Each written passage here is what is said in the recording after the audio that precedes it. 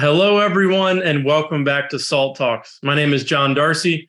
I'm a partner at Skybridge Capital, which is a global alternative investment firm, and I'm also the managing director of SALT, which is a global thought leadership forum and networking platform at the intersection of finance, technology, and public policy. SALT Talks are a digital interview series with leading investors, creators, and thinkers. And our goal on these talks is the same as our goal at our SALT conferences the next of which we're excited to host in Singapore, November 14th to the 16th at Marina Bay Sands. But our goal at those events and our goal on these talks is to provide a window into the mind of subject matter experts, as well as provide a platform for what we think are big ideas that are shaping the future. And we're very excited today to bring you a discussion about one of those big ideas that we like to feature a lot on Salt Talks. And that's what's going on in the digital asset blockchain space. And we're Excited to bring you the latest episode of the Salt Crypto Show. Our guest today is Dave Ripley. Uh, David Ripley is the incoming chief executive officer at Kraken, which is a global digital asset exchange. And just to have to disclose before we get into the conversation, on the Skybridge side of the house, we are proud and active investors in Kraken. Uh, so ex- excited to see Dave uh, continue to work with Jesse uh, to continue to elevate Kraken uh, into one of the leading digital asset exchanges in the marketplace. But before becoming Kraken's incoming CEO, Dave served as the chief operating officer at Kraken for over six years, playing an instrumental role in growing the company to be one of the largest crypto exchanges in the world. Under his guidance as COO, Kraken completed 16 acquisitions and secured a significant number of partnerships and regulatory licenses to scale the business. Before joining Kraken, Dave was the CEO and co founder of Glidera, which is an award winning non custodial wallet and funding service provider, which was acquired by Kraken in 2016.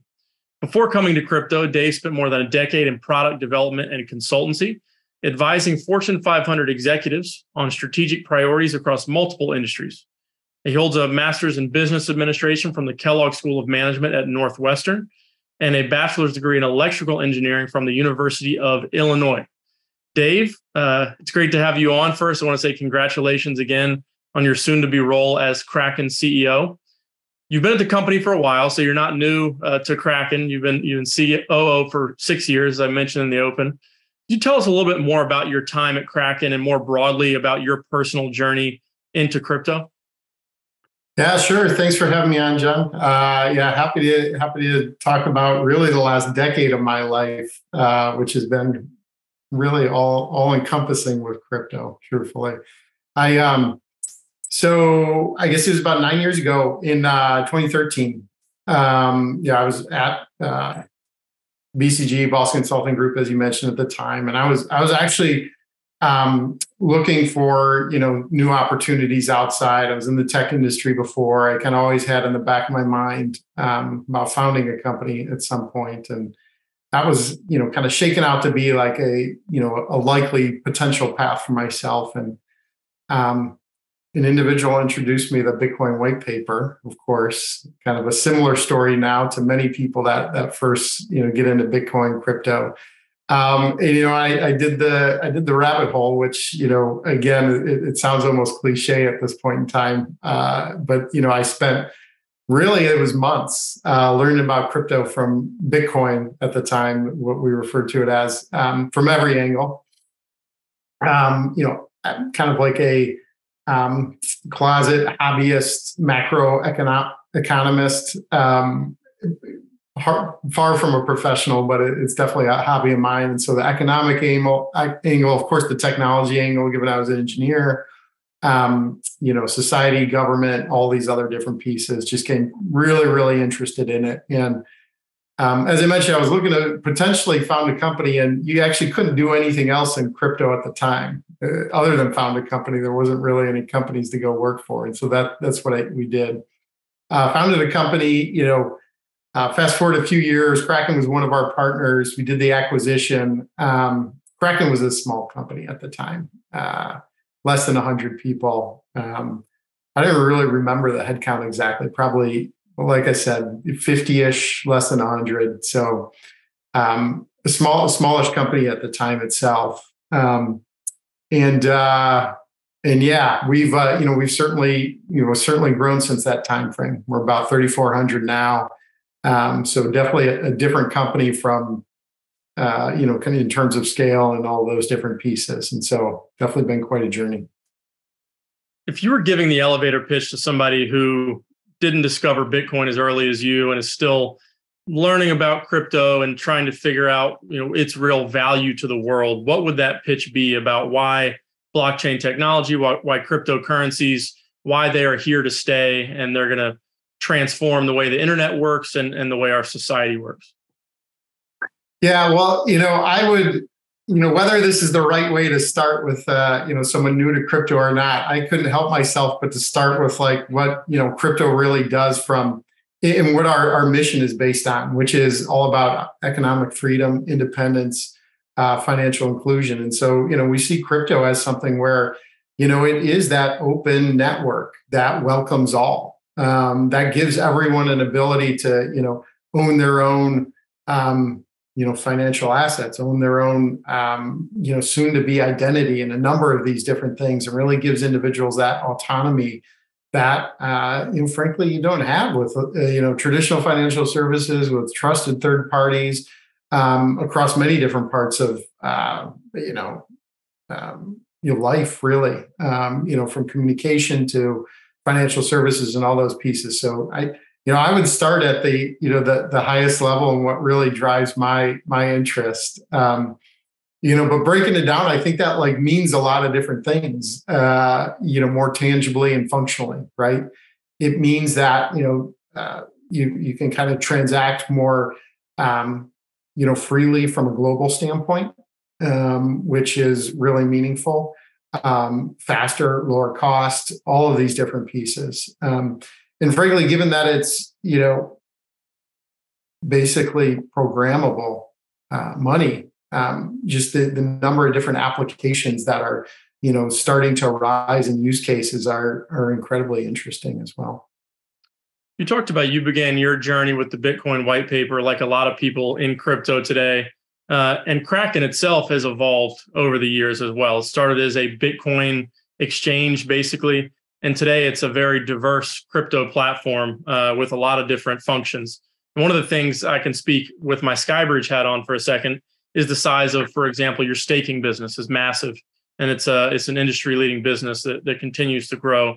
Could you tell us a little bit more about where Kraken is today, all the different uh, suite of services that you provide to customers, and what the strategic plan in terms of how you want to differentiate yourself within the marketplace?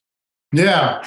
Yeah, good question. So, like, I mean, I, I, could just kind of like try and race through like a little bit of you know what what brought brought Kraken to where we're at today. I mean, we started um, the first exchange in in Europe, you know, the first place in the world where you can buy and sell Bitcoin with euros. Um, so we're an exchange, but really the way we thought about the business and have thought about the business is we're a bridge. You know, we're a bridge from you know where a lot of people are at today, traditional financial services, fiat, and into crypto. Um, and so we've kind of like uh, added on to that bridge uh, over time, and we've done we've had a lot of firsts. We've you know you know we were one of the first to go uh, multi-token beyond just Bitcoin.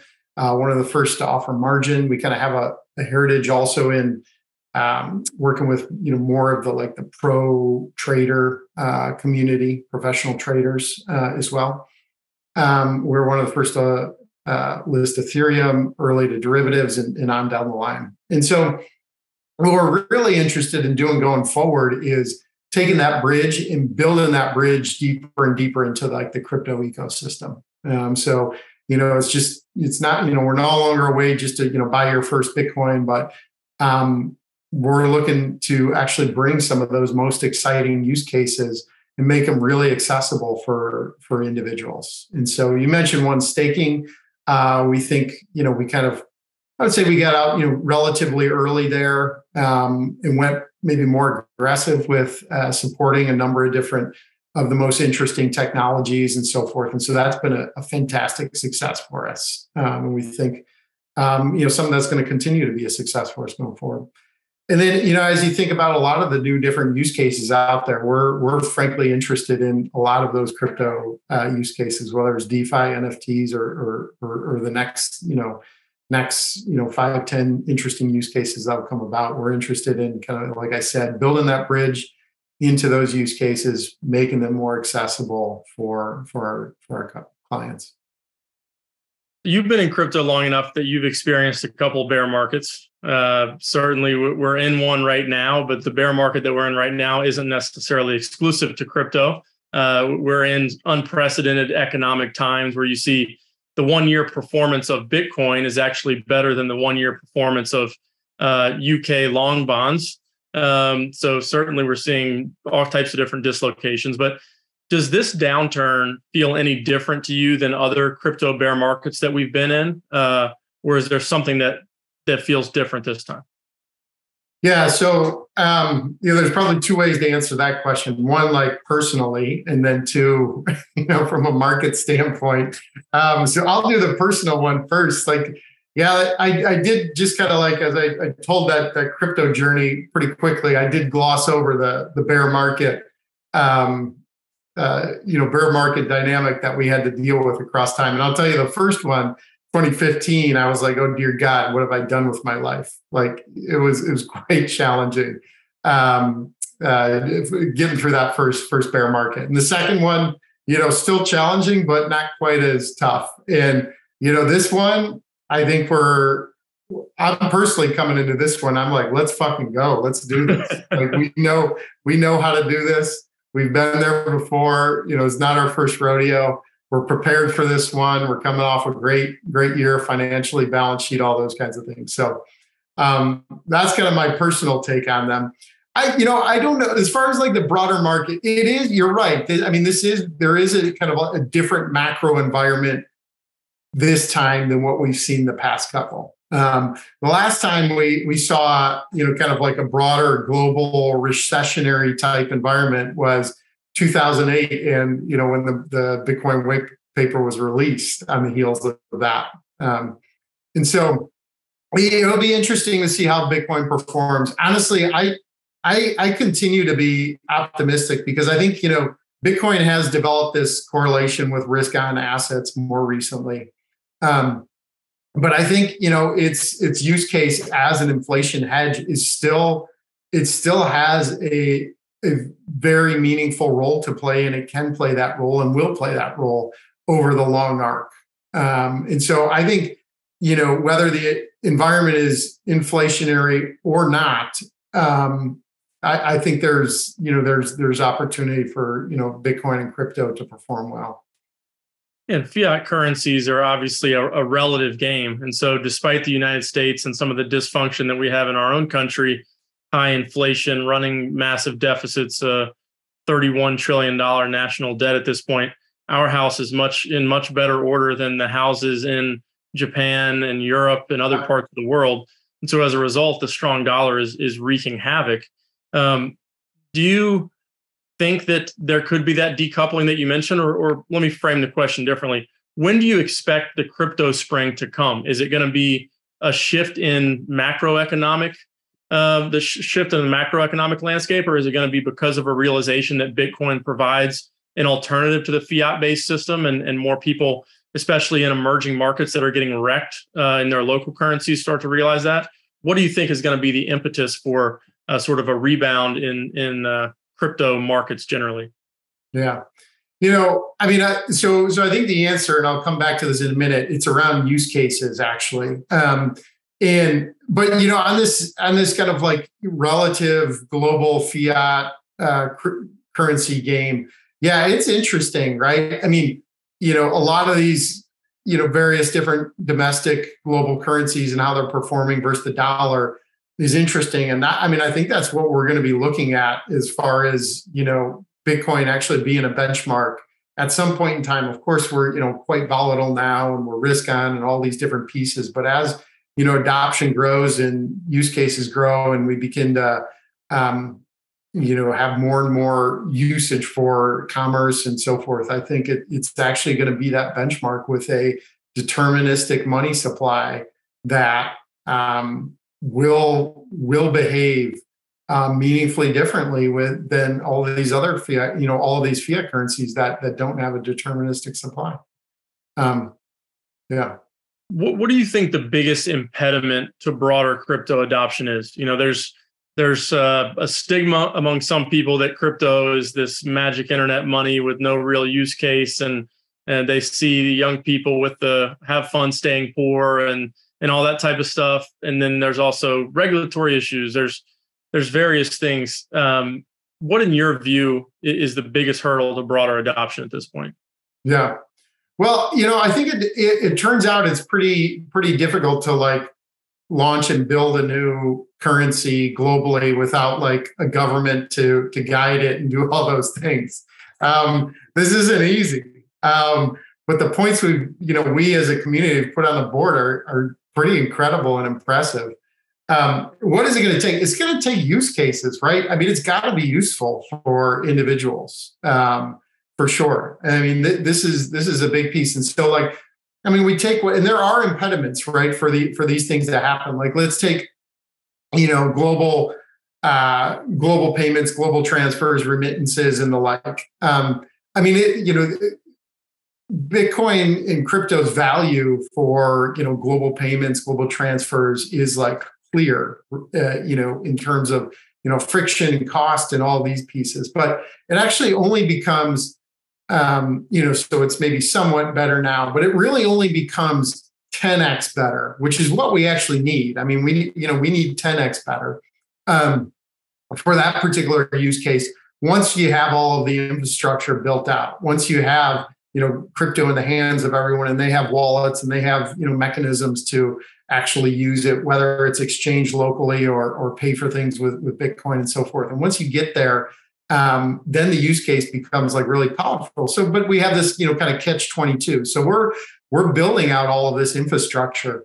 I mean it's significant the you know what what actually is entailed in, in in doing that and getting crypto in everyone's hands and so forth. So um, and doing it in a distributed way globally. So, you know, it's going to take take time, but like looking for these 10x use cases, I mean, there's going to be more out there than just that one. Some of them might even be easier, but maybe a lot smaller. So, like, let's take NFTs. Like, you know, I collected baseball cards growing up, and you know, the fact that you know there's now like a digital baseball card that's actually probably better in a lot of ways maybe 10x better than that little like little piece of cardboard that i i had and cherished for whatever reason. Um, and you know that's the, you know a number of these different use cases with nfts are are, are actually pretty interesting and, you you just couldn't you know th- these didn't exist before. And so there's there's opportunities for you know 10x um, you know with both big and small use cases i think in crypto Let's talk about security. So I think over the last six months, uh, at least as the space has grown, the hacks that have taken place on both decentralized uh, exchanges and and through different token bridges and things like that have gotten bigger and gotten high profile. And as you talk to people that are crypto skeptics, I think some will use that as ammunition to say, look, this system, this decentralized permissionless system doesn't have the same checks and balances in place to keep you safe as the traditional banking system, for example.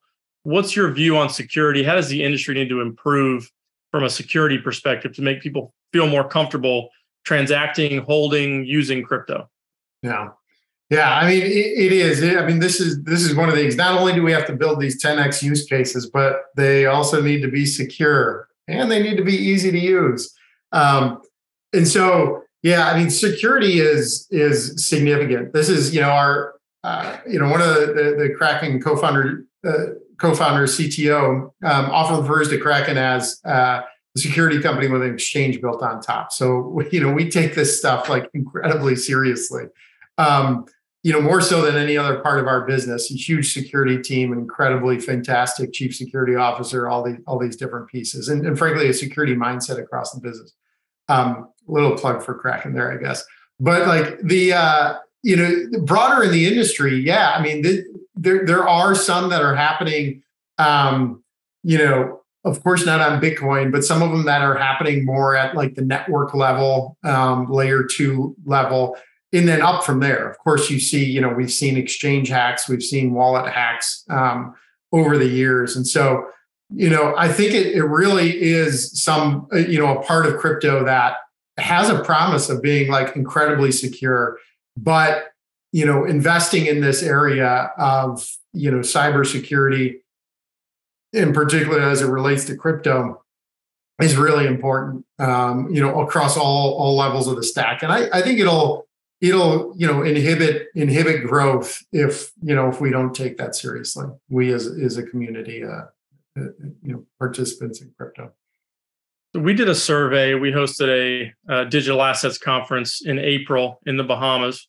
We did a survey among institutions that were in attendance, and there were a lot of traditional hedge funds that either have very small exposure to the space or or uh, wanting to learn more about the space before jumping in deeper. And and we did a poll about what the biggest obstacle for them to investing in the space was. The overwhelming, uh, most popular answer was around regulation.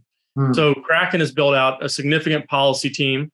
Has spent time in Washington over the last year, year and a half, uh, become more active, engaging with lawmakers and regulators.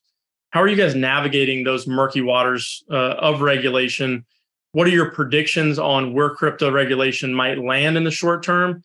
And then where do you think it should land? So, to two parts to that question: Where will it land? Where where do you think it should land in terms of how uh, digital assets are regulated? Yeah. Um, so a couple of things, yeah. Like, so how are we navigating it? For sure, it's you know investing heavily in that area. We got you know 300 in our kind of like core compliance, another 300 in compliance ops, 50 plus in the legal team policy, like you said. So we're kind of getting out there, working with regulators.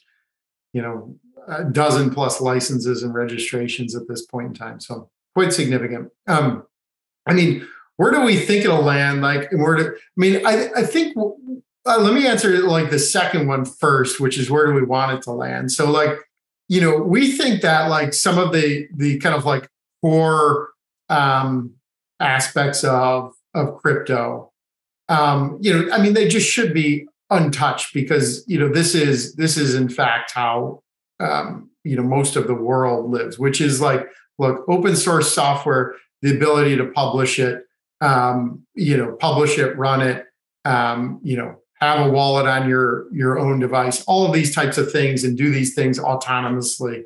Um, th- those should i mean these, these are you know these are just kind of like core freedoms right? That that absolutely should be should be untouched. Um, you move over to a um, you know a, a kind of like a centralized custodial player like kraken okay but we, you know we need to you know we there's there is regulation as i just got done saying like you know there's absolutely a number of things that we're doing to kind of move into the regulatory fold. We think it could you know there's better ways to do it versus versus not. You know there's a number of regulations that um, need to be cognizant of um, you know what crypto is. It's in, it, both its advantages and drawbacks. So i think um, you know I think that's where we hope hope to see things go is like yes the trusted third party is much the same as they exist in traditional financial services. You know there there should be regulation there because you know there there isn't you know the ability to um you know kind of do things autonomously when when you're talking about a trusted third party. Are you encouraged by the current discourse in Washington around digital asset regulation? You know, there's a lot of different. There's sort of a uh, a land grab with the SEC and the CFTC right now. There's been some regulation by enforcement in different cases without ever really establishing the guardrails here. I think we yeah. all agree that there needs to be regulation because people need to know what's right and what's wrong, and we need to offer protection to uh, you know people who have might have been uh, taken advantage of in some of these, whether it be hacks or um, mismanaged treasuries at some of these centralized entities as a result of a lack of oversight. But are you encouraged with the dialogue, or are you are you still a little bit uh, pessimistic or nervous around the direction uh, that some of our regulatory leadership wants to take? Yeah, I mean, you know, it's mixed.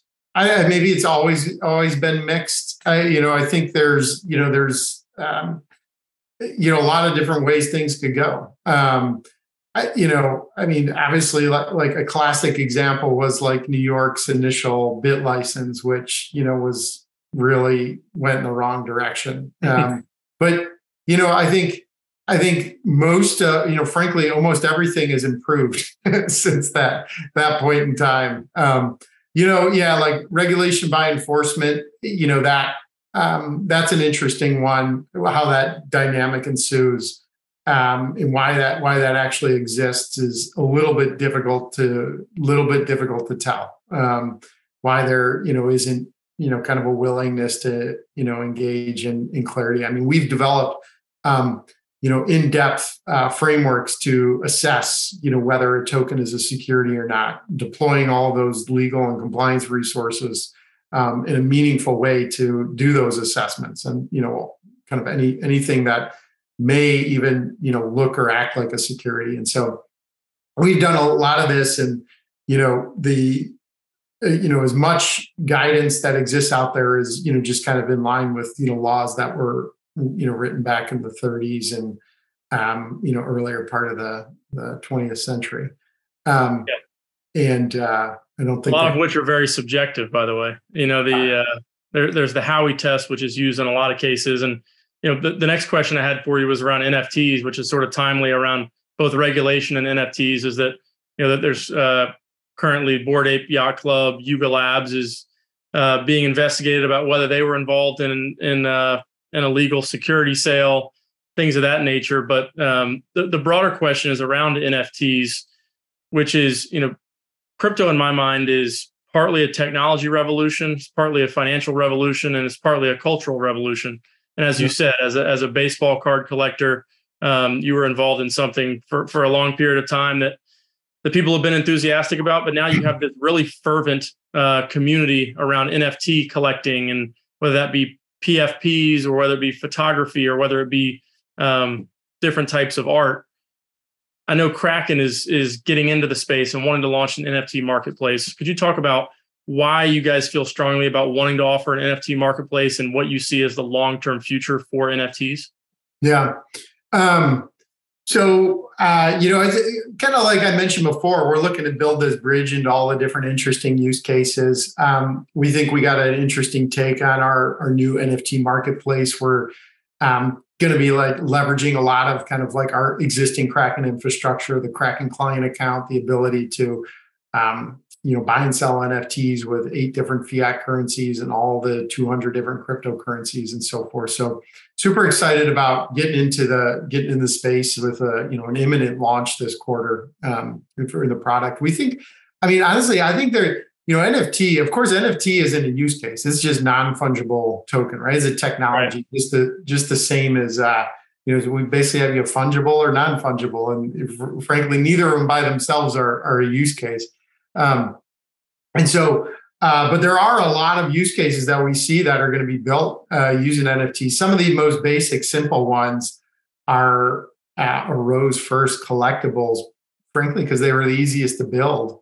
And um, they kind of fit with the reality of the network, which were the uh, network fees and um, you know that existed and so forth. And so um, many of these other use cases that are more complex, you know, virtual worlds and GameFi, we're scratching the surface there as well with NFTs, but they're they're going to, you know, some of those to be, you know, will require being, you know, built out more more so over time.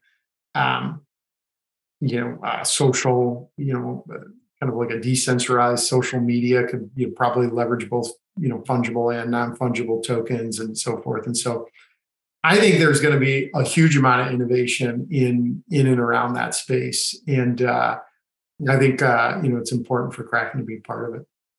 Yeah, we do our SALT conferences around the world. So we we have one in New York, we have one in Abu Dhabi, which I know Kraken is is one of the few exchanges licensed at ADGM uh, in in Abu Dhabi as an exchange. In the Middle East, we also have a SALT conference in Singapore, which is our next one, and both uh, at Temasek uh, one of the sovereign wealth funds in Singapore, and at uh, the sovereign wealth funds in Abu Dhabi, there is a keen interest in the metaverse and everything that that entails. And like you said, I think NFTs are viewed. Yes, the the collectibles uh, side of NFTs is obviously has a significant market, but uh, I think there's keen interest from the, the largest institutional investors in the world around the metaverse and all the different applications for NFTs. Like you said, uh, it's a very broad uh, asset that can be used in a lot of different ways, and the utility can be applied in a lot of different ways. Um, I want to talk about uh, IPOs. So we're not exactly in the type of market environment where you see a lot of IPOs. You know, we are uh, significant investors in a lot of private fintech companies, both digital assets and non. And so, you know, we're keenly interested in in the environment for IPOs and the way companies are thinking about it. Kraken is a fairly mature company in the space. Um, and there's been speculation about potential IPOs, you know, when market conditions are right, potentially. What factors will eventually go into that decision for Kraken about whether you want to go public, when that might be, and the pros and cons of being a public company in a industry that still remains somewhat unregulated? Yeah. Yeah. So, you know, of course, a, a tough one to, you know, share too much, too much on. Um, but, you know, just if you look at, um, you know, just generally, you know, fundraising and public markets, and one of the things that we've done historically is a lot of our, um, a lot of our kind of clients, early clients, have been our early investors as well, and that's been like a good partnership. Um, some just some great um, uh, you know, yeah, just a great partnership over time. We've tried to add to that. I mean, Skybridge being being one of them as well, right?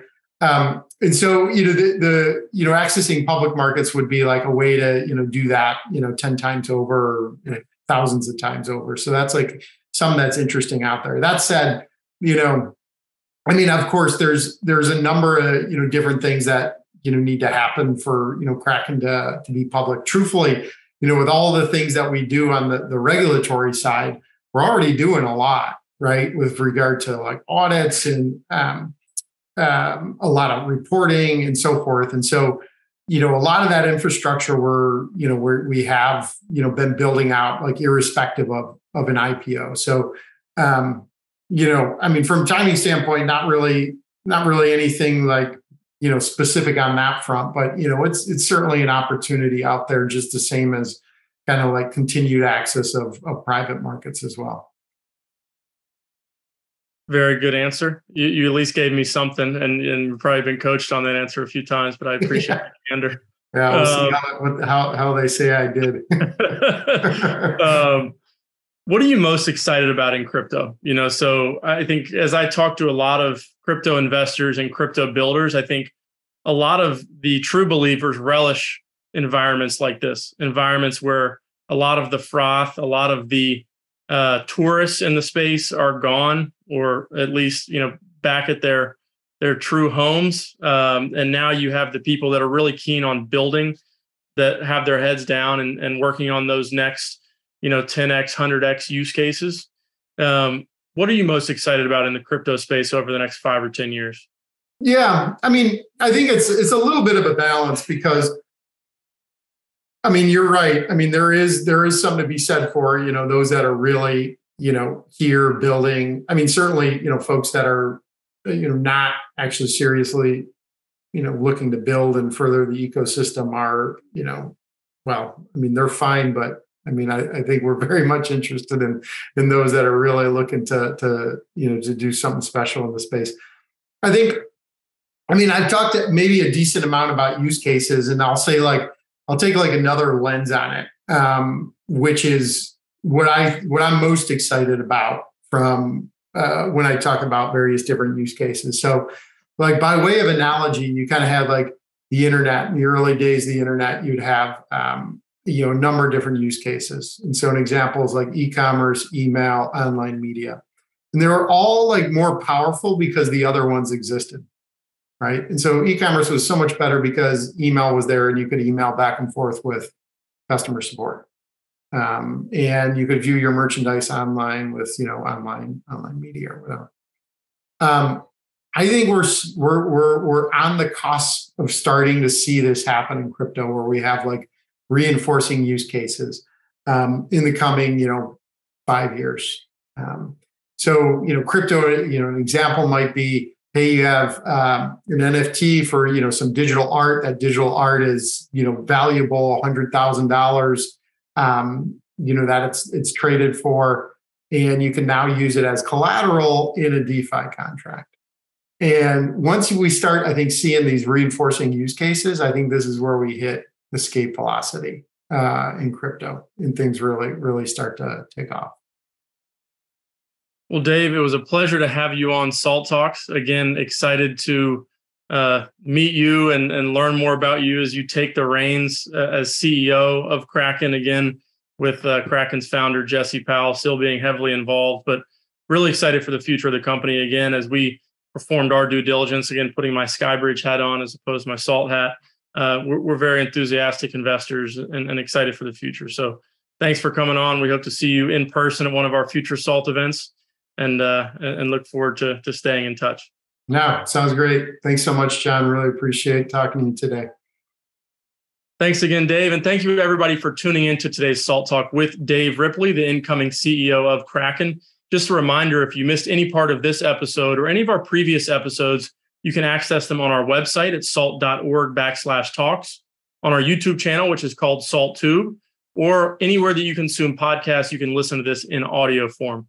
Uh, we're on social media. Twitter is where we're most active at Salt Conference, but we're also on LinkedIn, Instagram, and Facebook as well. And please spread the word about these Salt Talks. We love educating people that are both new and old to the uh, cryptocurrency digital asset market. Uh, and so please tell your skeptical uncle about this talk, and hopefully he'll learn something. But on behalf of the entire SALT team, this is John Darcy signing off for today. We hope to see you back here again soon.